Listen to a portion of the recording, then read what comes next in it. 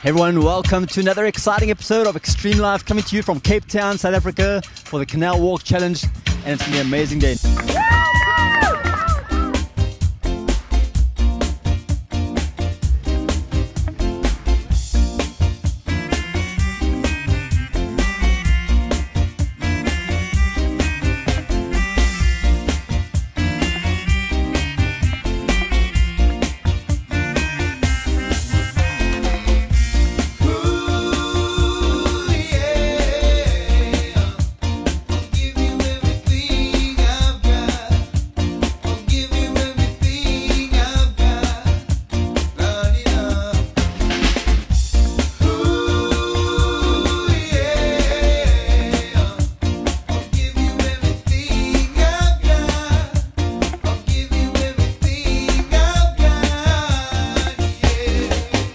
Hey guys, I'm here with Greg who won the heat on the speed race. Greg, how are you feeling?